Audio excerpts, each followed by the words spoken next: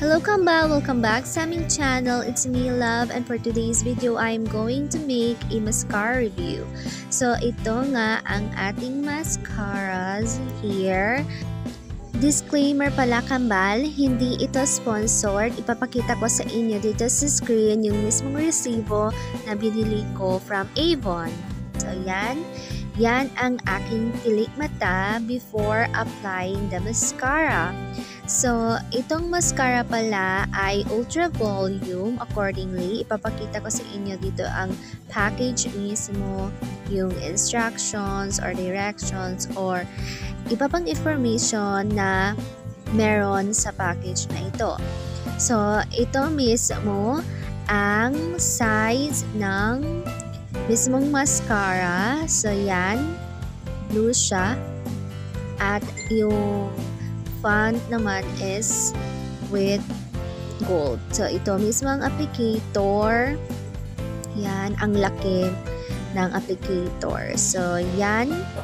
Nag-start na akong mag-apply and nag-switch ako ng position ng camera.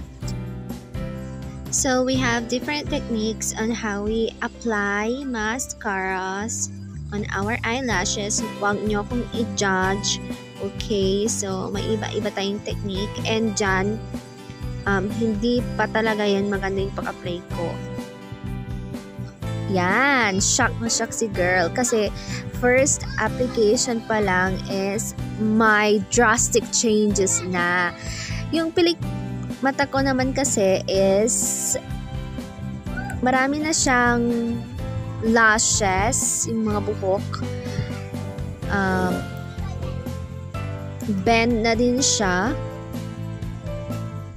However, hindi siya ganun ka-visible when it comes to um, sa camera. So, yan.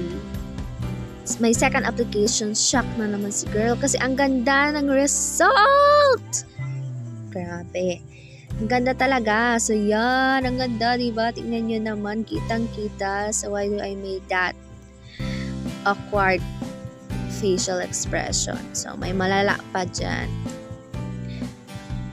So, yan. Tignan nyo naman. Ang ganda. Grabe. Ang volume, girl. Oh, parang may eyeliner na ako dyan, right? Pero tignan nyo, walang eyeliner yan. But, because sa aking mask, uh, dahil sa mascara and eyelashes, parang nakaroon na ako ng illusion na may na may eyeliner, ako dyan. So, sa kabilang mata naman, so yan, first application ko.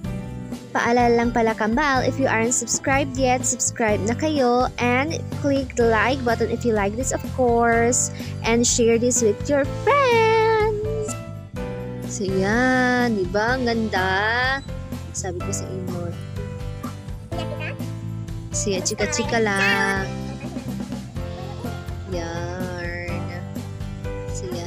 Application pa. O, di ba? So, yan. Pak! Ang ganda ng eyelashes ko. Tingnan nyo naman, di ba? So, yan. Pak! Diba? Kitang-kita na sa camera, girl! So yan, posing-posing muna tayo dito for the thumbnail ang person. Oo nga pala, Kambal, please don't skip yung mga advertisement na mapapanood nyo dyan sa screen ninyo. Malaking tulong na yan para sa aming mga small YouTubers. Thank you! Yan, ganda ko! Praise yourself. so, yan. Sa baba naman na eyelashes. Ano bang tawag dyan? Eyelashes pa rin ba? Comment nga kayo. Hindi siya gaanong visible, pero may mga hair talaga ako dyan. Kaya lang, hindi ganon kita sa camera. So, kayong mag-adjust. Charot. So, yan. So, ang pangit! Bakit kaya ganun yung mga girls, di ba? Every time na mag-a-apply something sa eyes nila, especially yung mascara, may mga hilarious na facial expression. So, yan. Hindi siya kitang kita, pero, pero maganda. Ang ganda ng mata ko!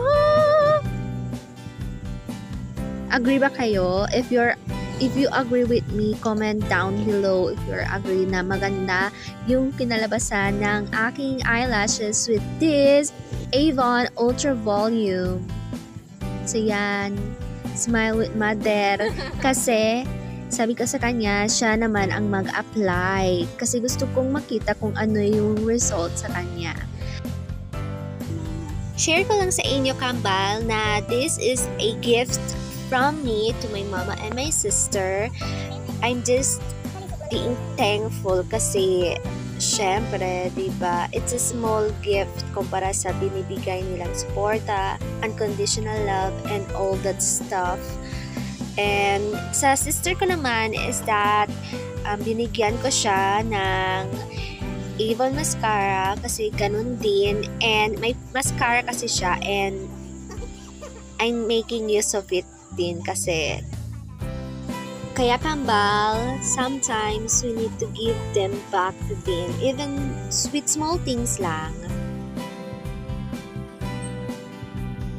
Ito naman yung pag-a-apply ni mama sa kanyang eyelashes. So, we have different techniques on how to apply our mascara on our lashes. Yung kanyan yung kanyang technique. And from before, and during applying mascara, you can see na may changes na.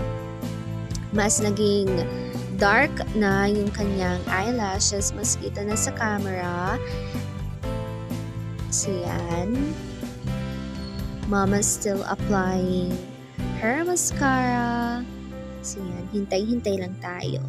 Kaya minsan talaga kambal, kailangan natin mag-show ng small efforts. Even small effort lang mapapasayan natin ang ating parents and siblings with that. Wala pala akong ginamit na curler kanina and si Mama rin, wala siyang ginamit na curler. So, yan. So, ito yung pilik mata ni Mama. So, yan. Yan yung effect sa mata niya. So Kamal, if you are curious where to buy this Avon Ultra Volume and Waterproof Mascara, ililink ko sa baba or ipipin ko sa comment section of on where you can buy this. So, ito na nga. Sa satisfied customer, thank you for watching. Bye!